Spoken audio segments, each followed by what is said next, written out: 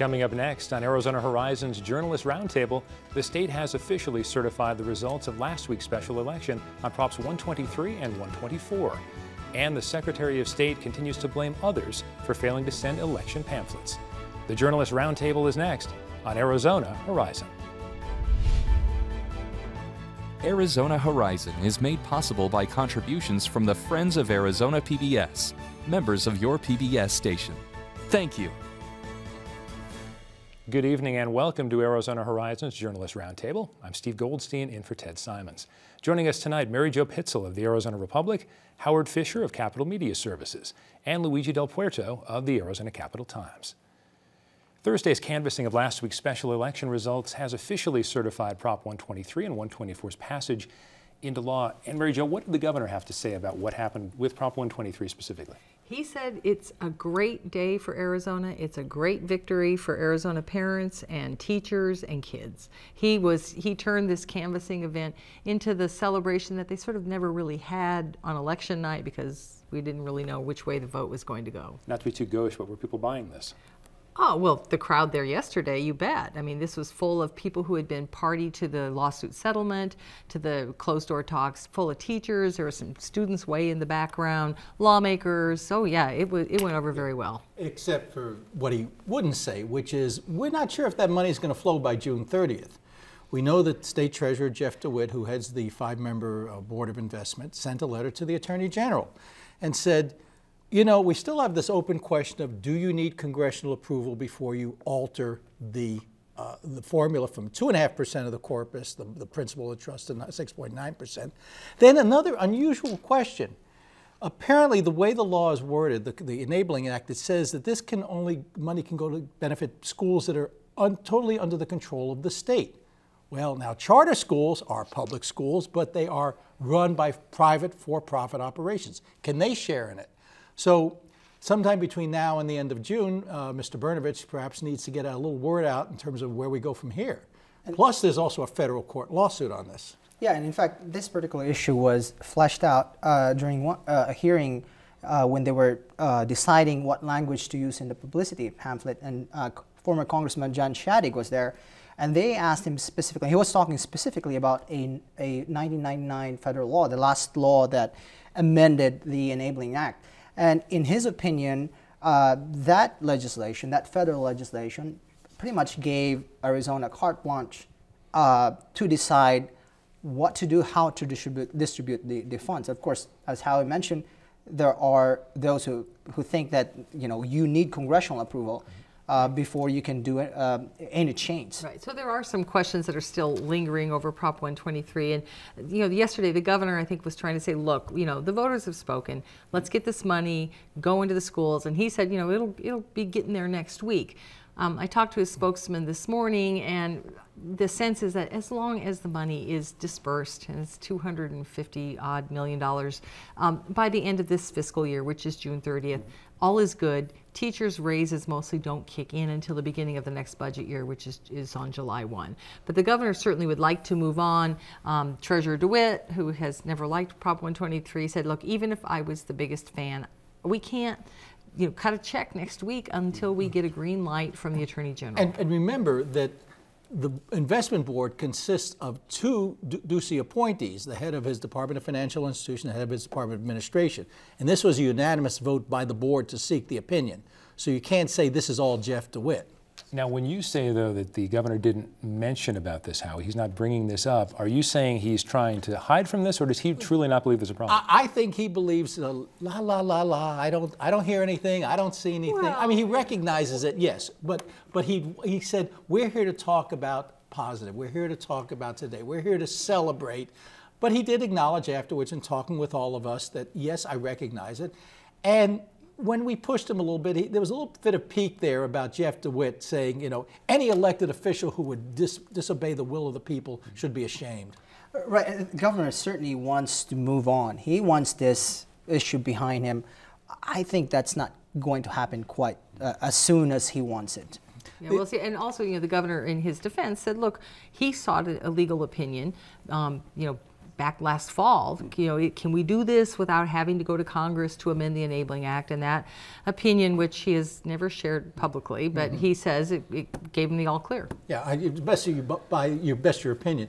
The other piece that, that's also waiting is the whole promise during Prop 123 is this is the first step. Mm-hmm. Well, the Children's Action Alliance and some other groups got together earlier this week and they said, well, okay, that's about $300 million a year. But if you actually look at all the cuts that have been made in inflation funding, in student in, in teacher training, in full day kindergarten, we're still about 1.2 billion short. A small gap in there. And we keep pushing the governor, so what's next? What's next? And he keeps saying, we're working on it. So whether it's Dana Naimark or Joe Thomas or Dick Foreman, the fact they're saying this, are they, is it falling on deaf ears, basically? No, I think the governor in his wants to do something. The question of what becomes the issue. What's politically saleable? We don't know who's going to be in the legislature. The other thing we've got that it's, that's hanging over this is you've got a governor who was elected on a promise to do a tax cut every year he's governor, which leads to the question: How can you increase aid to schools even as you're you're cutting the revenue sources? And that really is uh, a big question, right? Because the, the folks who um, are pushing for more money for schools have also pointed to tax credits that, uh, or tax cuts rather, that we are currently implementing and are saying, look, if we just suspended all those uh, tax cuts, then we would generate, uh, I think in my, in my cal- calculation, about $900 million over three years that the state would get. And they're saying, look, we can use that money to give to schools and uh, do all the things that we want for our children. We can do them without necessarily raising tax- taxes if we just suspended those that we have already. Uh, Oh, okay, but you know the political reality is to suspend a tax cut may require a two-thirds vote. correct, N- and not that's going to not happen. It's not going to happen. So I think what the governor is trying to do is, is how he said, we don't know who's, what the legislature is going to look like after this fall's election. He's sort of keeping his powder dry on the money question and trying to turn the focus to outcomes in the schools, test scores. And there's a good argument to be made that, you know, you don't want to just throw money at it. Um, however, the groups that had their news conference on Monday made the point that, look, this is money that the state had committed and then they reneged on. And, and we know that mm-hmm. a lot of the no vote, and it was, you know, what, 49.2% or something of the voters said, we don't like Prop 123. It's not because they don't like education. They wanted more. So this was a way for them to sort of put their foot on the accelerator and say, okay, we got to keep going more on the financial front as well. And what's really what's really interesting is that the governor has a uh, has cobbled together this, uh, to my mind, a diverse coalition of people who are pushing Proposition 123. You got the schools, you got the AEA, the teachers union, you got the business community, you got pretty much every major Republican uh, figure out there, except of course Jeff DeWitt. and then now the question is, does this coalition persist. And I think it, it will continue to exist, and it will be up to the governor to try and harness this coalition to, to, to do something else, to do what, what would be steps, you know, three, uh, uh, four, five, and six. I think the coalition is a, is a great point. But Howie, I'm also curious, I know we're looking ahead a little bit. How much do you expect the impact of Prop 123 or just K 12 funding in general to affect August primaries? Are we going to see more moderate mm. challenges, which is kind of the opposite of what we've seen? Well, the group that got together sort of hinted around, you know, gee, folks, you ought to be asking your candidates what do they think? Not just do you support education? Yes, I support education. But are you willing to support someone? Now, the problem becomes, as we all know, we have, you know, gerrymandered legislative districts where perhaps only four, five, six maybe legislative districts are really competitive. So you end up with Republican districts, Republicans running to the right, Democrat districts, Democrats running to the left, and then we get a choice in a few. I think there'll be some hard questions asked, certainly. Does it make a difference? I don't know. You know, you, you, you're looking at a lot of those legislative races, Mary Jo. What, you know, do you think it's going to make a difference in terms of defeating some incumbents? Um, you know, a lot depends on how the districts are drawn and how the questions are framed because everybody's in support of education, right? You know, but does that necessarily mean you support more money? Um, it, so a lot will depend on how um, constituents ask that question and, and what they're looking for in terms of a pro-education commitment. I I think at the end of the day, it really hinges on whether the Democrats can change the partisan ratio in both chambers. If they can manage sort of narrow that gap, for example, in the state Senate, uh, uh, maybe they have a chance to push more money for schools or, or maybe, maybe stop more tax cuts. But unless we see those kinds of changes, it's, it's really hard to, I mean, just based on what we've seen this last several years, really hard to push the legislature uh, to raise taxes, for example, for schools. Well, you'll never get the tax hike. What you may get is the coalition that we saw, mm -hmm. the same coalition that put KidsCare finally on the governor's desk, saying, we get the message. Uh, and it'll be interesting because you have some really high profile races out there uh, among people like Barbara McGuire trying to retain her seat ag against uh, Frank Pratt. You have a, an interesting race out in Paradise Valley with Kate Brophy McGee running against Eric Meyer. What's interesting is that Kate is part of the moderates, and so you know there's not a lot of choice there, I suppose, for some of the voters. Let's talk about someone who was a moderate when she was in the legislature, but now has decided, I guess, to take on Big Blue. Michele Reagan versus IBM. Where does that stand out? Oh Lord. Well, First of all, I think the Michele Reagan that ran is not the Michele Reagan in the office. I don't know whether this is bizarro Michele Reagan or whatever. You know, we've talked around this table about she ran on a platform of getting rid of dark money, and now, well, gee, I can't do anything about it. The what happened is we all know somehow 200 plus thousand ballot brochures didn't get mailed out. She blamed it on IBM. IBM said, wait, you know, the contract was up. You wanted help, get help. Then she would blame it on, a, on an outside contractor. Well, it turns out that what they didn't say is that the help they asked for the outside, when the outside contractor was for the presidential preference primary and not the May 17th primary.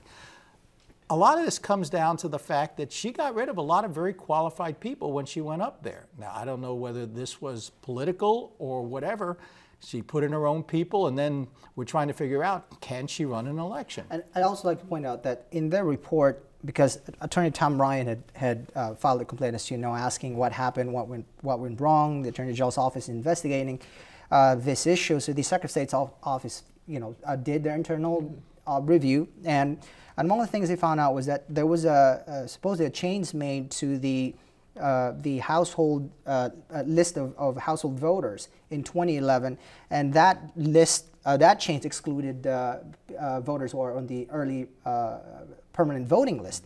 The, the interesting thing about that is that between 2011 and 2016, we'd have we'd had what two general elections, and we didn't have this problem. Mm -hmm. And so I guess goes back to Howie's point. Uh, that same report noted, I think in a footnote, that yeah, we don't have the guys who ran those uh, previous two elections in, in the office now, and that might be a key to really solving this mystery. And that's what brings us back to IBM, because the Secretary of State's um, elections director, Eric Spencer, maintains that, look, the continuity to understand how this works from cycle to cycle rests with our vendor. That transcends staff turnover. We're going to have staff turnover.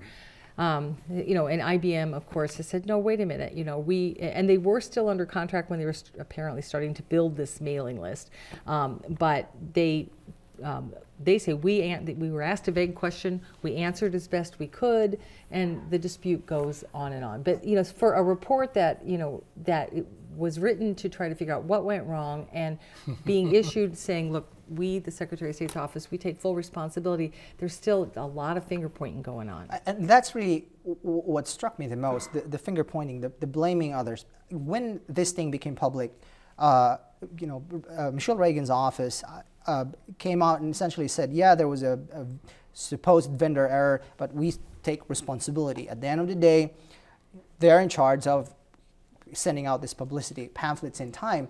And so to see them now start blaming others and, and sort of saying, yeah, we're to blame, but you know, they're to blame too. I mean, that's the thing that struck me the most. Well, there's another piece to this. And remember, I'm, I'm the old one around here, and I remember the Nixon administration.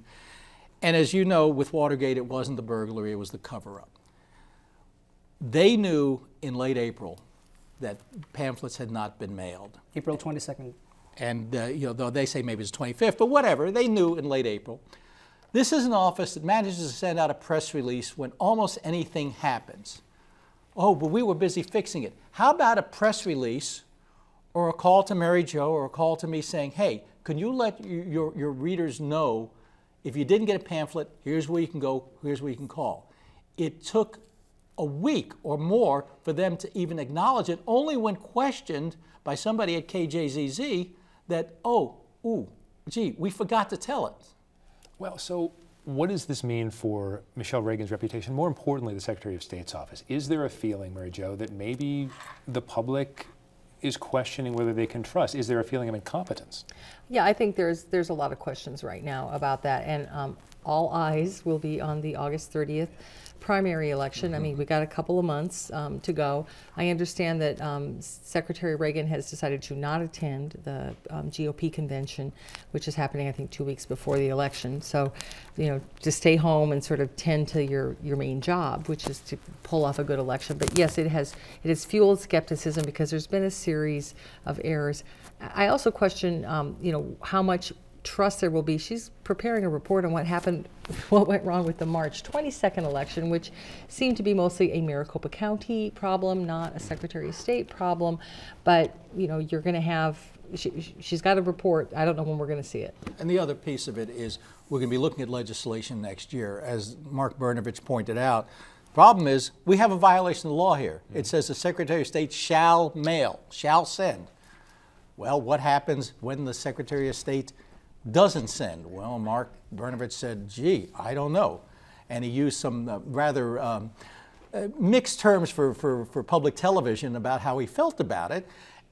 And the question is so, how do you punish somebody who does not comply with what should be a ministerial act of doing your duty? Howie, finally on this one, I'll come to you because you have chased many a politician in your career. Does it matter, do you think, to the general public when they see Michele Reagan after the canvassing sort of trying to get away from the media, getting on the elevator? Looked like kind of a funny scene, and yet this is the Secretary of State now wanting to talk to the press. Well, anytime you chase a politician into an elevator, and this is great television, you know, you, you end up with a situation where the public sees this and they think no matter what she has said, images matter. This isn't radio. This isn't, I can't, you know, have the sound of the elevator door slamming. Mm. A Secretary of State backed up against the wall, sweating, clearly not listening to the questions, and then being chased into the elevator, that's going to stay with her a long time. Now, we've already mentioned Attorney General Brnovich briefly. Uh, let's talk about this bathroom directive from the mm-hmm. Obama administration. Luigi, tell us about that. How did this get started, and what is Mark Brnovich upset about? What is Diane Douglas upset about? So this all started in North Carolina. The city there passed an ordinance saying we're going to protect uh, transgender uh, people. And the most controversial part of the ordinance, it says that uh, those um, that transgender men and women can go to the bathroom uh, of the sex that they identify with.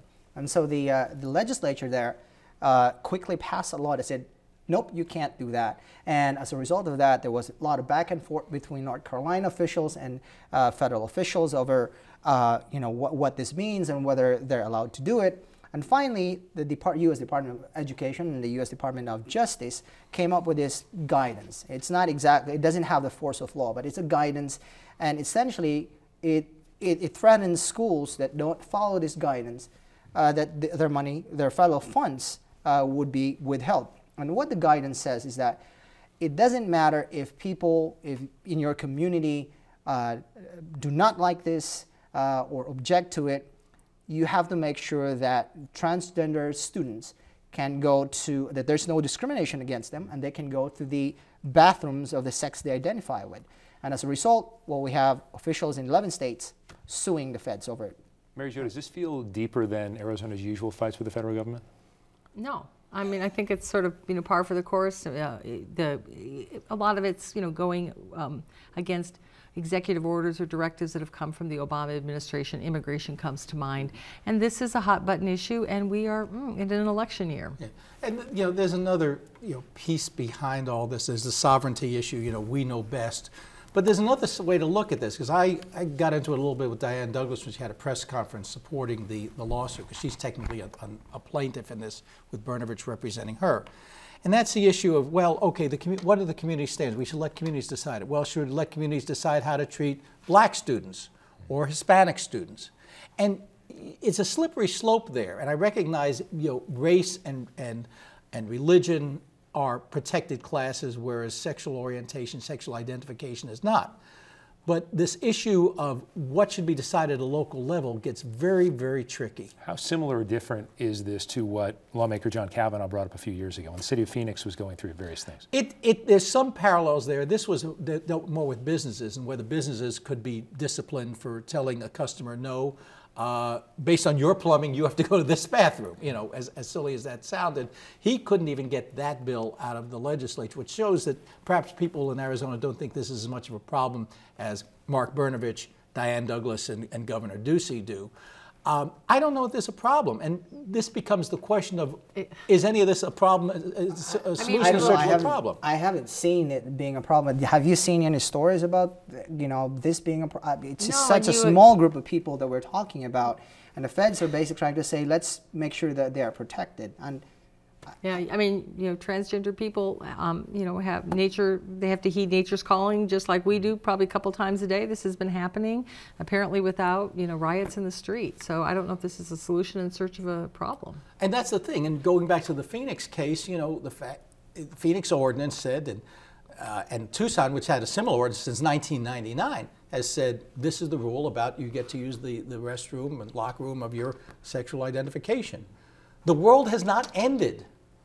And so I'm not sure who's looking for a cause here, whether it's DOE, Department of Education, looking for a cause, whether it's uh, maybe even uh, you could turn it around and say the gay community, uh, Human Rights Coalition is looking for a cause since gay marriage is no longer an issue. So maybe that's part of what they want. Well, I think we can certainly expect to see some campaign ads based on this particular topic. As far as campaign ads go as well, Luigi, we're seeing already John McCain ads against Ann Kirkpatrick. Yeah, the- General election not even decided. Yeah, that primary is not, not over yet, but they're they're right now they are fielding ads against each other, uh, presuming, of course, that they will both win. Well, Kirkpatrick has no uh, no challenge in, in her party. John McCain does have a couple of challenges. In any case, uh, what we are seeing is that the two campaigns have seized on the most uh, hated uh, issue by each party and, and, and run with it with ads and saying, you know, the, the other side is, is, for example, in, in John McCain's case, Kirkpatrick saying, look, he's best pals with uh, Donald Trump. And in uh, McCain's case, you know, he, his campaign saying, uh, uh, Kirkpatrick is very proud of her uh, Obamacare vote, and that's problematic. Well, of course, the funny part about him being best pals with Donald Trump, while he said he'll support him, you remember the insult that Donald Trump made about, well, he was a prisoner of war. That makes him a loser. I don't support losers. So I'm not sure I'm ready to paint John McCain as, as, a, as a Trump fan. Now, I know he's not, and that's the, the that's the thing about it. It's it. the discomfort. It- it- it's what the what the Kirkpatrick camp- campaign is clearly trying to do is tie Donald Trump around John McCain's neck, uh, thinking that that would boost her performance within uh, independents, women, and minority groups. But with the, the problem with that, look, we have sat around this table trying to figure out how the heck did Donald Trump happen in the first place? Every political rule that we have known in all the years we've covered politics seems to have been violated. You know, I made the horrible prediction on the year-end show that Donald Trump would not win one primary. Well, we'll, we'll I'm sure I'll be hearing about that how do you even explain that? You know, it's nice to say that Kirkpatrick thinks that you know hanging Trump around uh, McCain's neck will make a difference. I don't know. Right. I was going to say then to your point, you know, so these ads going back and forth. I mean, wh- who knows what's going to happen? And in fact, I spoke with uh, Robert Graham just this afternoon, and he is very confident, or at least this is what he's saying. He's saying that he is hearing from minority groups, from the Muslim community, for example, and they're not exactly uh, uh, completely afraid of Donald Trump, if you will. And some of them had sort of uh, expressed some um, some statements that may be construed. They may support Donald Trump. Now, of course, Howie's right. We, who knows what's going to happen? I mean, this is this year has been so disruptive in a sense that we, you know, And every time he opens his mouth, Mr. Unscripted, we get another headline. Right. Yes. All right, just a few seconds left. So Jan Brewer has become very tied to Donald Trump. Is this going to last for her if Trump happens to win? Oh, I, I think it, it will. I mean, I don't see her as VP material for a whole variety of reasons. Mm-hmm. But look, you know, she loves Fox. Fox loves her. They found somebody to talk because, because Trump was had his problems with Fox. So they, hey, we, we've got Jan Brewer to talk about, you know, the border, immigration, and all that stuff. So Jan Brewer became the stand-in. Look, if, if Jan if Trump does well, Jan does well. So does Jeff DeWitt, remember, because he also is supporting him. And Jeff, as you know, is not running for re-election. Who knows? Maybe there's a U.S. Treasurer position out there for Jeff DeWitt. and a picture on the $10 bill in three decades, Ooh, right? I like it. Mary Jo, Luigi, Howie, thanks for the discussion. Appreciate it. Monday, it's a special Arizona history edition of Arizona Horizon, as we'll talk with the author of a biography on Arizona's first elected governor, and we take a look at some rare stereographic photos of Arizona's past. That's Monday on Arizona Horizon. Tuesday, we'll talk about how possible Colorado River water shortages will affect our state. Wednesday, hear about affordable housing for seniors. Thursday, Ambassador Kurt Volker joins us in studio for an update on foreign affairs. That's all for now. I'm Steve Goldstein in for Ted Simons. Have a great weekend.